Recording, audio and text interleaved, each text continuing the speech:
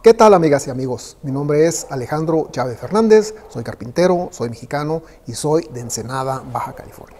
El día de hoy vamos a continuar con la serie de videos sobre cómo doblar o curvar madera. Y hoy les mencionaré cuál es la madera, pero sobre todo qué tipo de beta es más apropiada para este trabajo. Así que comencemos. Existen varios métodos para doblar o para curvar la madera. En el video anterior les mostré dos de los métodos más sencillos y con esto hicimos estos respaldos para un banquito. Eh, en un método les mostré cómo rayar o ranurar la madera para poder ser doblada y en el otro lo hicimos laminando en frío, es decir, pegamos varias piezas de madera para poderlas doblar y de esta manera hacer eh, el respaldo curvo. Pero existen otros métodos, también podemos eh, doblar la madera laminándola en caliente, es decir, ejerciéndoles temperatura o vapor. También podemos eh, doblar la madera forzándola, forzándola en frío o forzándola en caliente, implementándole temperatura o vapor con la plancha. Eh, la plancha es muy útil para esto. O también se puede hacer eh, este, haciendo una vaporera. Pero también hay otro método que, es con químicos. Y también existen ya algunos triplies que son apropiados para ser doblado. En los próximos dos o tres videos siguientes vamos a hacer un ejercicio con este tipo de triply. Pero aparte también existen compañías que este, venden ya madera ya tratada para ser dobladas. Desafortunadamente, en ocasiones eh, este tipo de maderas no está muy accesible para nosotros. Es decir, no está al alcance de la mano, no está en las madererías donde regularmente nosotros compramos nuestra madera en nuestra ciudad. Y por eso nosotros debemos de implementar métodos para poder endoblar la madera y de esta manera hacer el trabajo que necesitamos hacer. Con estos diferentes métodos nosotros podemos doblar o curvar este, MDF, triple eh, madera sólida, ya sea en tabla, pero también en barrote. En los trabajos que he realizado doblando madera, he doblado eh, triple, he doblado MDF, he doblado maderas duras y maderas blandas también. Eh, no solo en piezas, sino que también en los muebles. Y he doblado madera de pino, de encino, de, de fresno, de álamo y también este, de nogal. Enseguida les mostraré algunas fotografías de los trabajos que he hecho.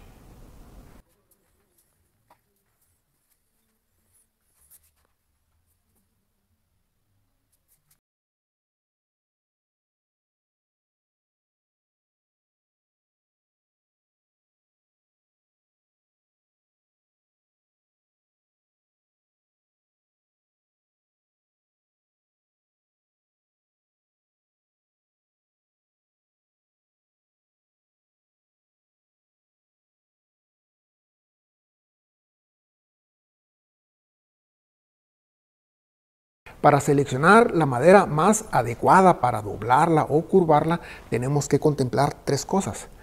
Una sería el tipo de corte de la madera, si es radial, si es tangencial o si es de cuarto. Dos, el tipo de madera, si es madera dura o si es madera blanda. Y tres, que yo la considero lo más importante, es el tipo de la veta ya sea en un corte radial, tangencial o de cuarto, o si es madera dura o blanda, creo que lo más importante es el tipo de la veta. Enseguida les mostraré los tipos de corte que hay. Estos son los tres tipos de corte de madera más comunes que existen. El más común y el más económico es el corte tangencial, luego le sigue eh, este, en precio el corte de cuarto y el más caro viene siendo el corte radial. Este tipo de corte en las orillas de la madera así se ven. Este es el, tangencial, este sería el de cuarto y el radial se miraría de esta manera el lado de la madera, la punta de la madera. Este corte, el tangencial, es más económico porque el árbol se aprovecha más. Se aprovecha más y también es más fácil cortar el árbol en los aserraderos porque no tienen que estar girando tanto eh, el tronco. Entonces, este corte tangencial es el más económico, por lo tanto es el más común que nosotros encontramos en las madererías de todo el mundo. Siempre vamos a encontrar la madera para hacer nuestros muebles con corte tangencial. Repito, porque es el más común y es el más económico y es el que vamos a encontrar en la gran mayoría de todas las madererías de todo el mundo. Después, en cuestión de precio, sigue el corte de cuarto. Y es un poco más caro porque se desperdicia más madera y el poder sacar las piezas del tronco a los aserraderos les cuesta un poco más de trabajo el hacer varios cortes en el tronco y después estar acomodando estas piezas para poder sacar las tablas. Por eso es un, un poco más caro. Pero yo considero que este corte, el corte de cuarto, es el más apropiado para ser doblado, porque con este tipo de corte se hacen los barriles de vino. Este tipo de corte de cuarto son los que se utilizan para hacer todos los barriles de vino de todo el mundo. Después, en cuestión de precio, sigue el corte radial. Es mucho más caro porque también se desperdicia mucho, eh, mucho más madera. También eh, ejerce, eh, este, hay más trabajo en el aserradero al momento de cortar el, el árbol y también de estarlo acomodando para sacar las piezas. Por eso este es más caro. Entonces, les repito, este corte tangencial es el más común, es el más económico y es el que regularmente nosotros compramos y encontramos en las madererías de todo el mundo. Entonces nos vamos a abocar a trabajar nuestra madera para doblarla con este, con este tipo de corte. Con este tipo de corte tangencial, aquí lo importante es seleccionar la veta de la madera. Para el ejemplo de cómo seleccionar la veta, vamos a utilizar estas tablas de pino, de poplar o álamo, de ash o de fresno, de oak encino y esta sería walnut o nogal.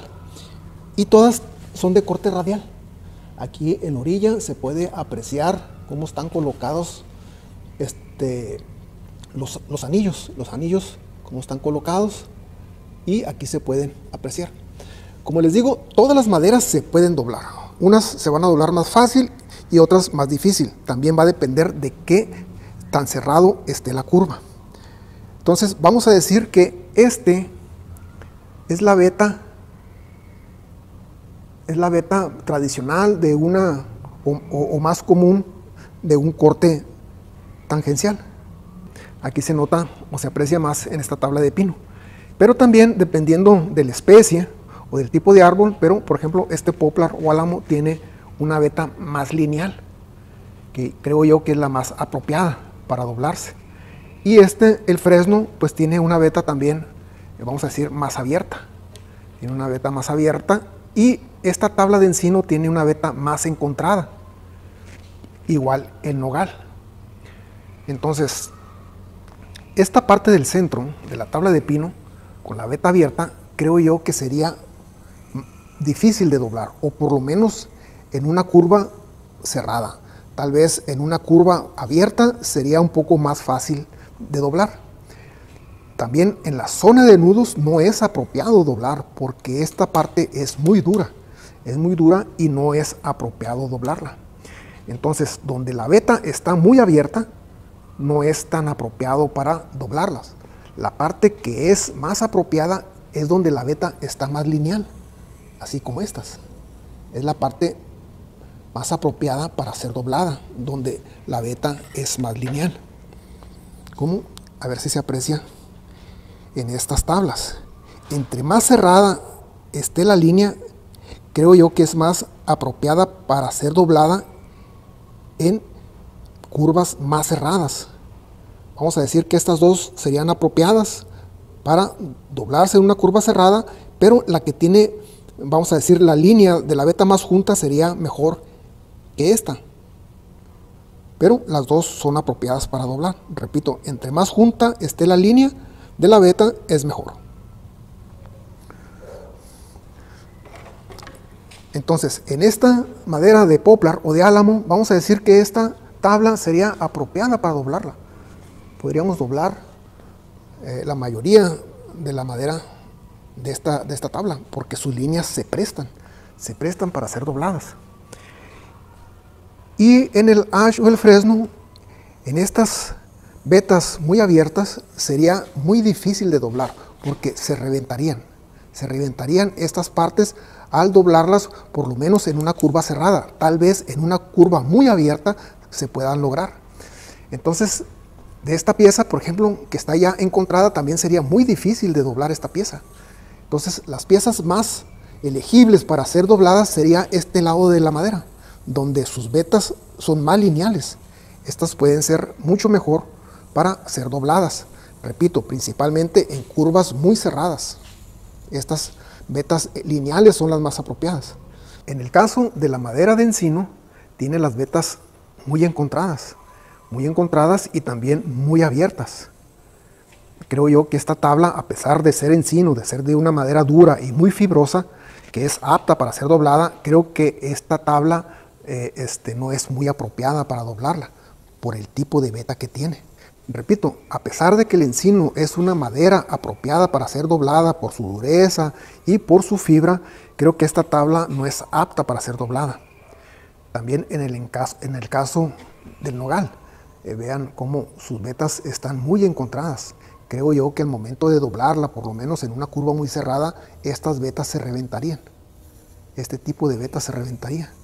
Es una madera muy hermosa, muy bonita, pero en este caso, en esta tabla, en especial en este tipo de tabla, este, yo no me atrevería a doblarla porque creo que eh, se, rompería.